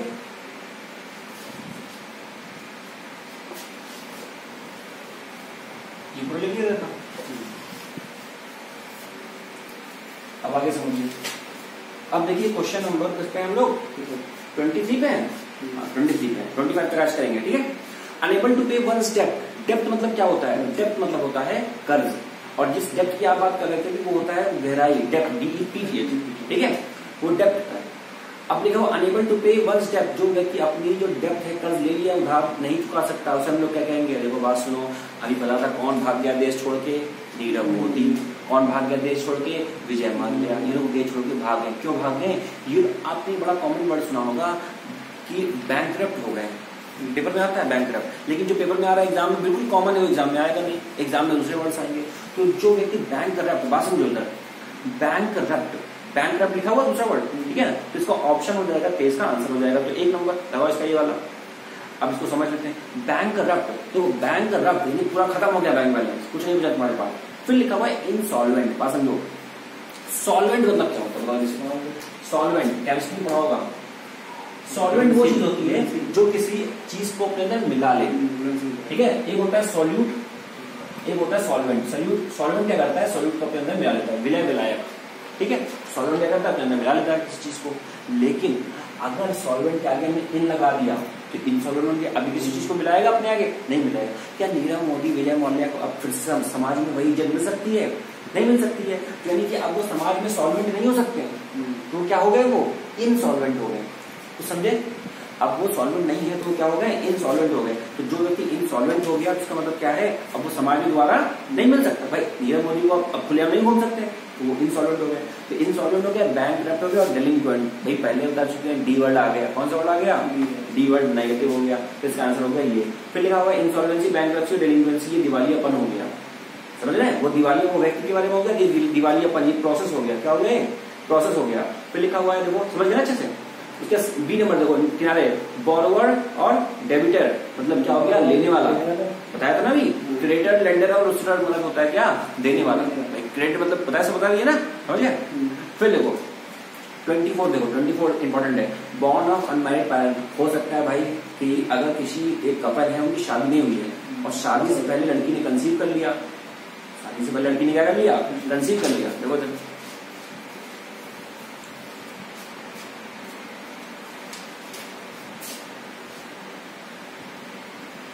कंसीव कर लेगा। सुनो।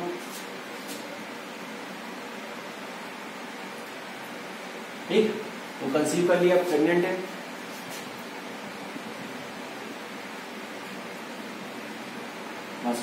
किसी लड़की ने कंसीव कर लिया। कंसीव उसके लिए पढ़ जाता है प्रेग्नेंट आता है उसके लिए वर्ड और एक आता है इन फैमिली में भाई, अगर कहते नहीं है लड़की ने कंसीव कर लिया बेबी हो गया, यानी कि अब क्या मतलब घर परिवार वाली बन गई, लड़की? ठीक है ना? तो इन अ फैमिली वे तो इन सबका मतलब क्या होता है? कंसीव करना, गर्भ धारण करना। इन सबका मतलब होता है गर्भ धारण करना।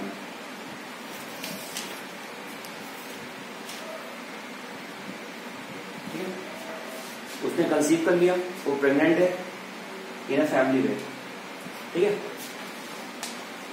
और जब वो कंसीव करती है तो उसको लीव मिलती है, उसको कहते हैं मैटर्निटी मैटर्निटी ठीक है? भाई, कितने में? नौ महीने की छुट्टी बनती है? बताओगा आपको। नौ महीने की छुट्टी मिलती है तो उसे मतलब मैटर्निटी लीव ताकि आप बढ़िया आराम से रहो पे, है ना? तो दिक्कत न बने आपको, उसे कहते हैं मैटर्निटी लीव गर्भधारण अब देखो यहाँ लिखा हुआ है बॉर्न ऑफ़ अनमेरिड पेरेंट अगर किसी कपल की शादी नहीं हुई है और लड़की ने कंसीव कर लिया तो भाई ऐसा बताओ कि अब लड़की ने कंसीव कर लिया है तो उसने ऐसा मतलब वो कैसे हो गया? भाई प्यार में हो गया? प्यार में धोखा हो गया? अब इसको देखो। प्यार में क्या हो गया? धोखा हो गया। ठीक है? अब इसको देखते हैं। आपने सुना होगा एक लीगल बड़ा अच्छा टर्म है लीगल सुना है? लीगल सुना है? बिल्कुल सुना इलीगल सुना होगा आपने? ठीक है आपने इलीगल सुना होगा। लीगल सुना है इलीगल सुना लीगल से हमने कह दिया एक और बात मैंने लेजिटिमेट कोई दिक्कत? देखिए इक्वल लग रहा है थोड़ा बहुत। इलीगल से हमने एक टर्म आ गया इलेजिटिमेट इलेजिटिमेट इलेजिटिमेट ठीक है? तो ये हो गया हमारा लीगल और इलेजिटिमेट ठीक है? ठीक है? लीगल और लेजिटिमेट इसका मतलब होता है वैध। क्या होता है? वैध। कहते हैं वैध लीगल या लेजिटिमेट इलीगल इलेजिटिमेट का मतलब क्या होता है? अवैध। अब क्वेश्चन आते हैं। इसमें कह रहा है कि अगर ये लड़की बॉर्न ऑफ़ अनमेरिड अगर किसी बच्चे का जन्म होता है और उन कपल्स की शादी नहीं होती है तो उस बच्चे को हम लोग कहते हैं? अवैध संतान। क्या कहते हैं उसको? अवैध संतान। तो उसे हम लोग कहते हैं इलेजिटिमेट चाइल्ड इलेजिटिमेट चाइल्ड को कहते हैं हम लोग, क्या? अवैध संतान ठीक है? अवैध संतान क्योंकि वो प्यार में थे, क्योंकि वो प्यार में थे, इसीलिए उस चाइल्ड को कहते हैं लव चाइल्ड कहते हैं। अब यहाँ से एक और चीज़ समझो पहले। यहाँ से एक और चीज़ समझो। दो चीज़ें होती हैं। एक होता है tug of love tug of love और एक होता है tug of war sorry tug of war ठीक है? टग मतलब होता है खींचना। टग टग ऑफ़ वॉर का मतलब होता है रस्सा, कसी का खेल। टग ऑफ़ वॉर का मतलब होता है रस्सा, कसी का खेल। और टग ऑफ़ लव का मतलब क्या होता है? जब पेरेंट्स के बीच, यानी हस्बैंड और वाइफ के बीच लड़ाई होती है कि चाइल्ड की कस्टडी कौन लेगा? जैसे डाइवोर्स हो गया उनका, अब उसके बाद चाइल्ड की कस्टडी कौन लेगा? होता है ना ये लड़ाई। कोर्ट में जाते हैं वो लोग। तो उसे कहते हैं हम लोग, टग ऑफ़ लव इसे कहते हैं? टग ऑफ़ वॉर लिखो इंपॉर्टेंट है। टग ऑफ़ वॉर का मतलब होता है रस्साकसी का खेल। टग ऑफ़ वॉर रस्साकसी का खेल। टग ऑफ़ लव मतलब होता है the fight between the couples for the custody of child fight between the couples fight between the couples ठीक है? फॉर कस्टडी ऑफ़ चाइल्ड ये चाइल्ड किसके पास जाएगा बच्चे? जैसे अभी ऋतिक रोशन और सुजैन, ना? ये नाम है सुजैन उनके हस्बैंड वाइफ में चल रहा था। कि बच्चे किसके पास रहेंगे? है ना डाइवोर्स होगा तो उनका ठीक है? और जब डाइवोर्स होता है तो आपको पता होगा कि विमेन जो हस्बैंड होता है वो लड़की को पैसे देता है पता होगा? है ना पैसे गुजारा भत्ता दिया जाता है। उसे हम लोग कहते हैं एलिमनी क्या कहते हैं? एलिमनी कहते हैं। ठीक? उसे हम लोग कहते हैं एलिमनी एलिमनी मतलब क्या होता है? गुजारा भत्ता देना। या आप कह सकते हो कंपनसेशन देते हैं। कंपनसेशन ठीक? कंपनसेशन देते हैं। तो कंपनसेशन या एलिमनी एलिमनी का मतलब होता है गुजारा भत्ता। यानी वह मनी जो हस्बैंड देता है अपने वाइफ को या वाइफ देती है हस्बैंड को। ठीक है ना?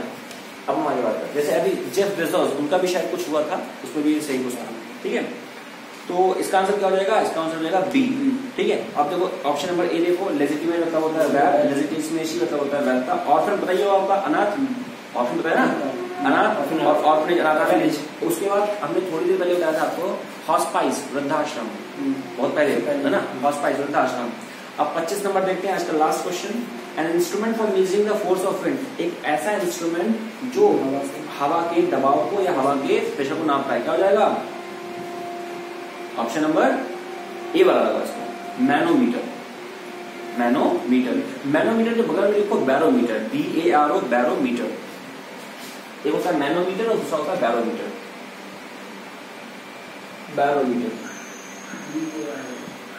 Baro B A R O barometer और एक होता है मैनोमीटर। देखो इसमें क्या डिफरेंस है इसमें? ये जो दोनों होते हैं ये हवा को नापते हैं। दोनों जो होते हैं वो हवा को नापते हैं। लेकिन जो बैरोमीटर होता है वो बहुत कम जो अगर फ्रीक्वेंट कोई एक्शन हो रहा है उसको भी नाप लेगा मतलब छोटे छोटे एक्शन को भी नाप लेगा समझ रहे हो? मैंने मैनोमीटर बड़े बड़े तूफ़ान को नाप रहा है। लेकिन बैरोमीटर क्या है? छोटी सी कोई हलचल भी उसको भी नाप लेगा। अब यहाँ से जीएस का भी क्वेश्चन बन जाता है। बता दूँगा आपको, इसे बैरोमीटर की रीडिंग जो है एकदम नीचे गिर गई। बैरोमीटर की जो रीडिंग है, वो एकदम नीचे गिर गई तो मतलब तूफ़ान आने वाला है। ध्यान समझो बैरोमीटर की जो रीडिंग है, वो एकदम नीचे गिर गई तो क्या आएगा? तूफ़ान आ गई अगर बैरोमीटर की रीडिंग धीरे धीरे नीचे गिर रही है तो बारिश हो रही है। धीरे नीचे गिर रही है तो बारिश हो रही है। और अगर बैरोमीटर की रीडिंग धीरे धीरे ऊपर उठ रही है तो मौसम साफ़ है। समझ? गए एकदम नीचे गिरे, तूफ़ान। धीरे धीरे गिरे, बारिश। और एकदम और उठे तो मौसम साफ़ है। तो मैनोमीटर बैरोमीटर कहीं पर भी आ जाए क्या वायु दाब मापी। हिंदी में आएगा इसको? वायु दाब मापी। नहीं पता लिख लो उसको हिंदी में हैं? वायु दाब मापी। वायु दाब मापी बैरोमीटर ठीक है? तो ये हो गया बैरोमीटर उसके बाद दूसरे ऑप्शन को इसका ऑप्शन क्या हो गया? ए नंबर माइक्रोमीटर माइक्रोमीटर क्या करता है? स्मॉल एंगल या डिस्टेंस को मेजर करता है है ना? जो माइक्रोस्कोप भाई माइक्रोस्कोप मतलब क्या होता है? छोटा ठीक है? उसके बाद भाई इसीलिए तो ठीक है एक बार टेलीस्कोप टेलीस्कोप का मतलब क्या होता है? टेलीस्कोप का मतलब होता है हाँ? टेलीस्कोप का मतलब होता है कि जो दूर की चीज़ों को देखे। अच्छा ये, देखिए 25 का जो आंसर होगा वो डी होगा एनिमोमीटर बात समझिए 25 का जो आंसर होगा वो डी होगा एनिमोमीटर और उसके बाद प्रेशर के लिए हुआ है। लिखा हुआ है ना प्रेशर देखो लिखा हुआ an instrument that measuring the force of wind जो हवा का फोर्स मेजर करे, उसे लोग कहते हैं एनिमोमीटर कैसे पता चला? देखो एनी कहीं पर भी ये आ गया।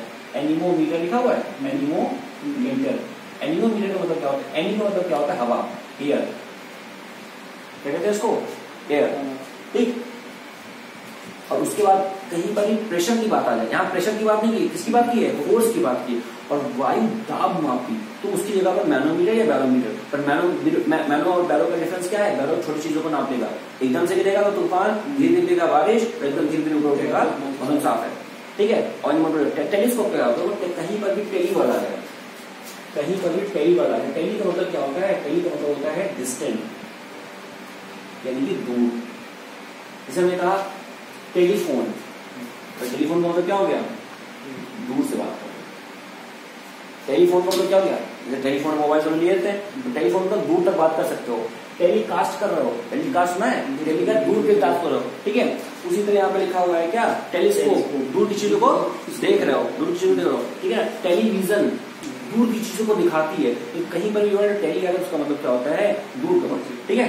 तो ये हो गया। अब इसमें से आपको पूछना है, पच्चीस नंबर तक पूछ लीजिए बाकी तो कंटिन्यू करेंगे। ये और रिवाइज करा दें आपको। ठीक है रिवाइज करा दें? रिवाइज कर दें? कहाँ से कराना रिवाइज पंद्रह से? नहीं नहीं, पंद्रह से नहीं। ग्यारह से ग्यारह से। देखो a place where the money point एक ऐसा जगह, एक ऐसा पिता मनी को पॉइंट किया उसे कहते हैं, हम लोग उसे मिंट कहते हैं, ठीक है? A place where money point कहते हैं मिंट प्रेस क्या होता है, जहाँ प्रिंटिंग प्रेस होता है, वहाँ पे नोट की छपाई होती है। ट्रेजरी ट्रेजर ड्रॉप ट्रीवर कैश कॉफर टिल्ट इसका मतलब क्या होता है कि वह स्थान जहाँ पर कीमती वस्तु को रखा जाता है उसके बाद प्रोफेशनल राइडर इन हॉर्स वह व्यक्ति जो प्रोफेशनल राइडिंग कर रहा है उसे हम लोग क्या कहते हैं उसे हम लोग कहते हैं चौकी और जो व्यक्ति उस घोड़े को वहाँ से अस्तबल तक लेके जा रहा है उसे हम लोग कहते हैं हॉर्स कोर्सर ठीक है? अस्तबल वही अस्तबल यही सुनी रहती है। हाँ फिर बात करते हैं ये हो गया फिर उसका जॉकी हो गया फिर हॉर्स कोर्सर और courser C O U R S C course मतलब क्या होता है? कोर्स मतलब एक तो होता है आपका पाठ्यक्रम और दूसरे कोर्स का मतलब क्या होता है? वो रास्ता। और तीसरे coarse C O A R S C coarse का मतलब क्या होता है? खुदरा। बताया था मैंने? टाइगर की टंग कोर्स होती है। उसके बाद लिखा हुआ है house the house of the Eskimo Eskimo के घर को क्या कहते हैं? इग्लू कहते हैं। ठीक है? उसके बाद लिखा हुआ है अच्छा इसमें एक और चीज़ छूट है फ्लैट और कंडोमियम जो ऑप्शन में लिखा हुआ है? फ्लैट और कंडोमियम आपने फ्लैट सुना है? फ्लैट पता है? फ्लैट के लिए नया वर्ड है कंडोमियम फ्लैट को कंडोमियम भी कहते हैं। समझ गए? कहीं पर वर्ड फ्लैट आया, उसका मतलब क्या है? कंडोमियम नेक्स्ट वर्ड कभी जाना, किसी से बोलना, हमें कंडोमियम चाहिए। फ्लैट कंडोमियम एक ही होता है। उसके बाद देखो, उसके बाद अच्छा ये ये आगे भूल गए थे, वो हट में जोड़ो लेक्सिकन लेक्सिकन का मतलब होता है डिक्शनरी ठीक है? अभी हम पढ़ाएँगे आगे। ये रूट वर्ड में आएगा। लेक्सिकन का मतलब होता है डिक्शनरी लेक्सिस मतलब होता है वेकेबलरी लेक्सिकोग्राफर वह व्यक्ति जो डिक्शनरी को कंपाइल करता है। और लेक्सिकोग्राफी मतलब डिक्शनरी कंपाइल करने की कला। ग्राफी ग्राफी हो बिल्कुल सही बिल्कुल सही। फिर उसके बाद बनों के लिए पोस्टेशन जो व्यक्ति पोस्टेज टाइम को करेक्ट करता है वो क्या हो जाएगा फिलेटलिस्ट हो जाएगा ठीक है ना और वेंडर वेंडर ठेला लगाना one who expert in judging one art वो व्यक्ति जो किसी आर्ट को जज करता है तो उसको कहते हैं कनाइजर कहते हैं उसको ठीक है ना एक्सपर्ट मतलब जो व्यक्ति एक्सपर्ट है और एक्सपर्टाइज मतलब क्या होगा जज करने की कला करते हैं रिजी साइड मतलब राजा की हत्या ठीक है ना मैट्री साइड माता की हत्या पैट्री साइड पिता की हत्या और फ्री साइड सिस्टर हत्या सुसाइड ठीक है ना खुद की हत्या आप हत्या कर लिए one who hate the mankind व्यक्ति जो मैनकाइंड को हेट करता है बता दिया मिसअनथ्रोप कर दिया फिर और फिलेंथ्रोपिस्ट हो गया व्यक्ति जो मानव से प्रेम करते स्टैंड मतलब भंगर हो गया रेपिल प्रयोग करता art of beautiful handwriting वह व्यक्ति जो ब्यूटीफुल हैंड राइटिंग जिसकी नहीं है कैलीग्राफर जिसकी खराब हैंड राइटिंग है कैपोग्राफर कहते हैं उसको। ठीक है story of man by himself खुद लिखे अगर वो क्या हो जाएगा? ऑटोबायोग्राफी अगर कोई और लिख रहा तो क्या हो जाएगा? बायोग्राफी हो जाएगा। निर्माण मतलब शॉर्ट ऑटोबायोग्राफी ज़ीरो साइड मतलब नस्ल की हत्या कर दिया आगे देखो।